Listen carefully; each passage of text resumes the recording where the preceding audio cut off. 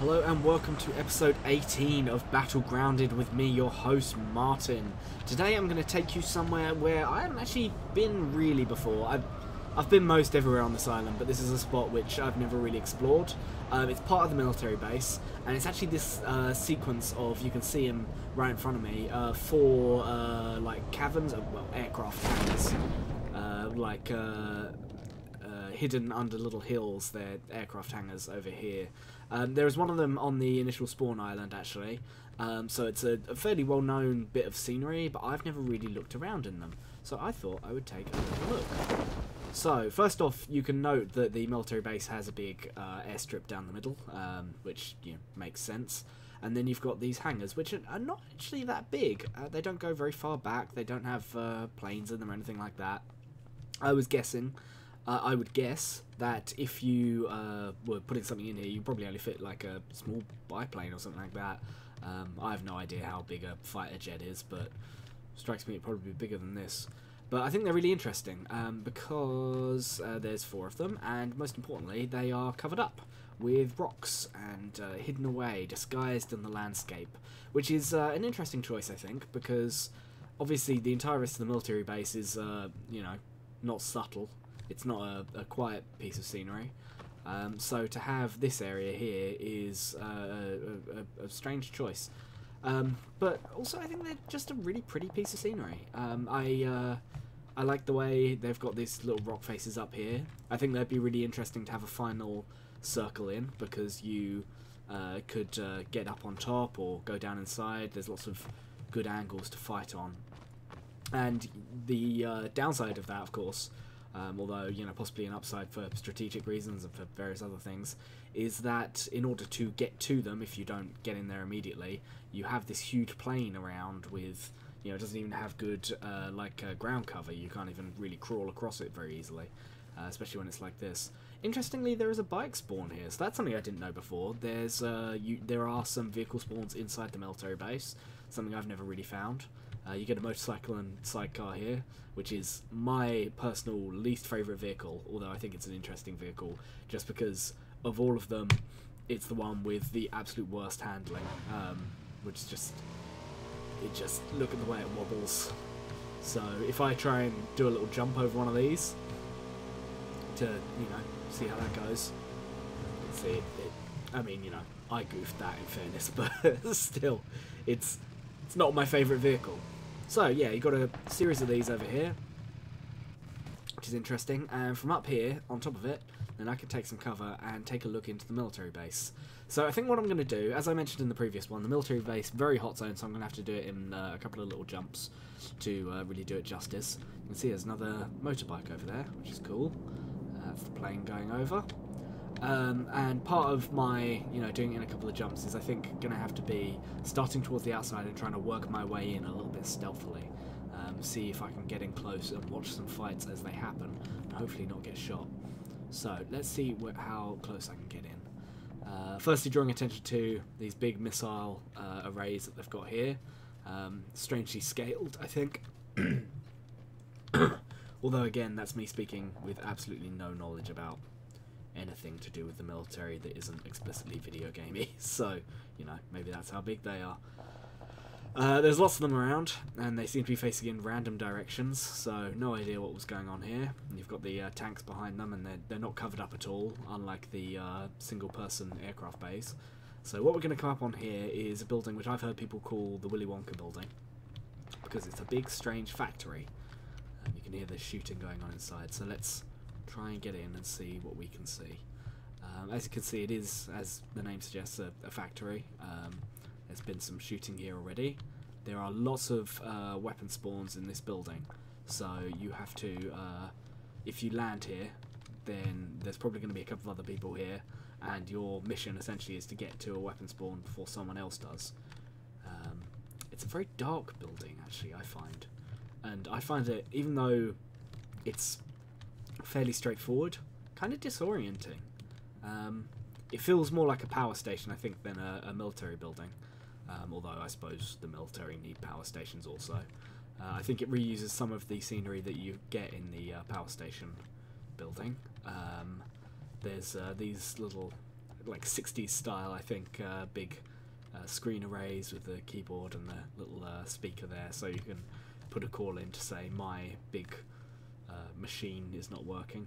It actually, this reminds me more of like an old. Uh, I mean, you know, there's the, the power station thing, but it also reminds me more of like an old mill or something like that. You know, it, it, these could be big looms uh, running things in the factory.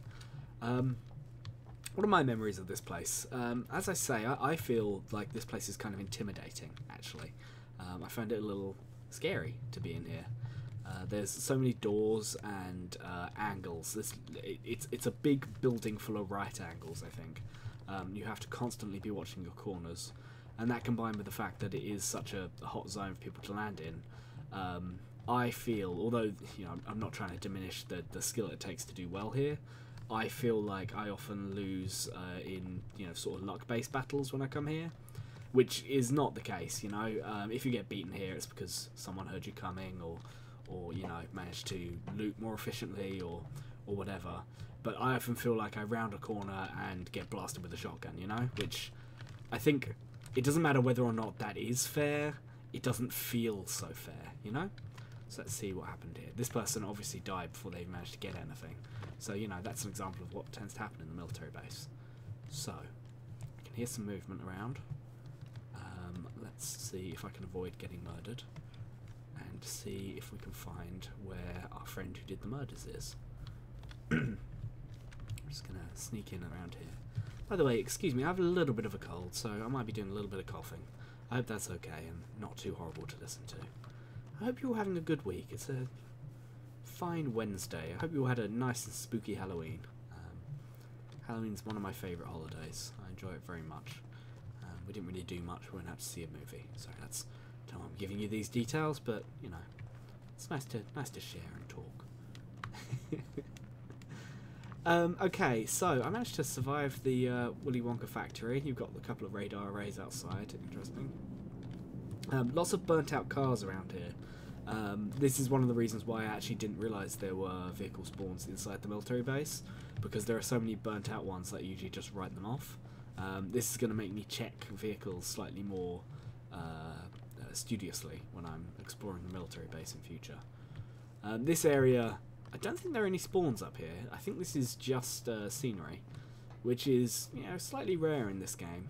This would certainly be an interesting place to have a final circle, because unlike so many areas in the game where you're hiding behind a tree and you sort of circle out, take a shot, come back out again, lean out, you know, take a shot, all that sort of thing.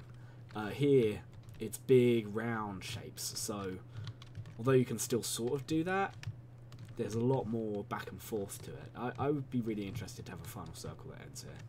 I should play more until you get more like that. I think that's one of the things about the military base in general, actually. Um, it's such a dense area with different types of scenery.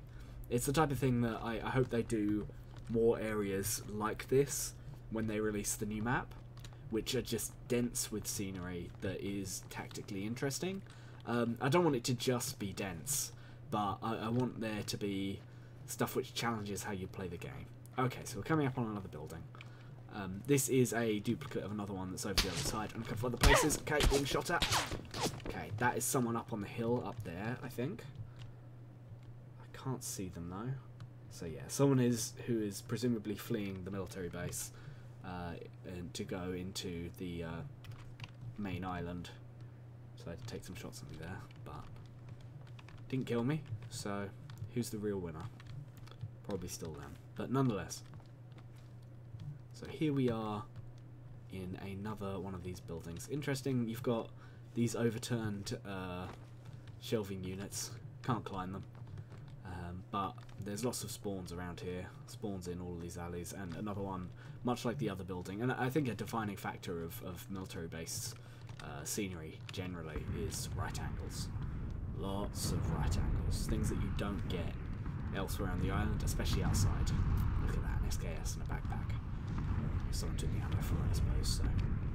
Um, but yeah, only in uh, you know you get it in the uh, houses in the main building, but even there, I feel like there are the the houses in the main island tend to be a bit more flowing. You tend to sort of move through them a little bit more fluidly, even though they are big blocky houses.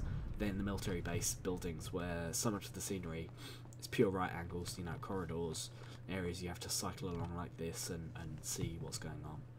Um, which I think is, you know, interesting. So, let's see, what else is here? There's another one of these big crests, um, indicating, you know, it's a military institution. That's something that you would put here. Uh, you've also got a big open uh, missile crater. Maybe I'll take a look at that. I was thinking of heading over to these houses, which I showed you from the radar array before, but I might as well uh, take a look at the um, uh, missile silo while I'm here. I'd also like to take a look at one of the uh, radar towers as well. I think there might be two of them. I've only ever been in one of them, but they're they're great bits of scenery. Um, whoa, getting shot. Okay, here we go. wonder if that was the same person. in any case, here we are. Uh, I consider this a missile silo, although maybe not. Um, I've no idea what this is, because my assumption would be this big thing would flap open and a big missile would shoot out, you know? Maybe a space shuttle or a, or a nuclear bomb or something, but inside it's kind of nothing. Although, is it? Is that the top of a bomb? God, I have no idea about military stuff. Um, which is good, I think. I don't... I'm glad that there's... One of the things about video games, I think, in general, and it's something that I only realise when I speak to people who don't play a lot of video games, is how many models of weaponry I can identify. Like, I know what an AK-47 is, you know? If, if I see something that looks like an AK-47, you know, it's called the AKM in this game, but I'm like, oh, that's an AK. Um, and I don't much like that, actually, you know? I, I wish I didn't have that knowledge. I don't think that's going to serve me well. I, I don't intend to shoot guns in my life. I intend to try to avoid shooting guns in my life if I can possibly do that. Um, and yeah, you know, it, it's one of those things that's come about as a result of all the branding, basically, that goes into games like Call of Duty and so on, where they have you know partnerships with gun manufacturers and things like that. Um, that I'm aware of all that. So I, I actually quite like that I have no idea how this thing would function.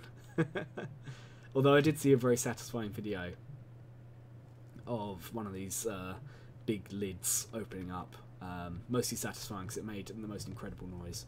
Uh, just a big hiss and a gigantic clunk. Recommend it. I have no idea what you would search on YouTube for that. But maybe you can watch it after my video. wonder if that person is still there and shooting at me. Let's have a little look. This is interesting, I think. You know, there's this... Yep, they got me.